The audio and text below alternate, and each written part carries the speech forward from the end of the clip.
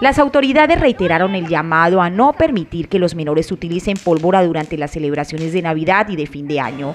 La cifra de cero personas quemadas en la ciudad es un ejemplo para todo el país. Eh, tener cuidado con el no uso de pólvora en el tema de niños, niñas y adolescentes. En estos momentos llevamos una cifra en Barranca Bermeja de cero niños, niñas y adolescentes quemados.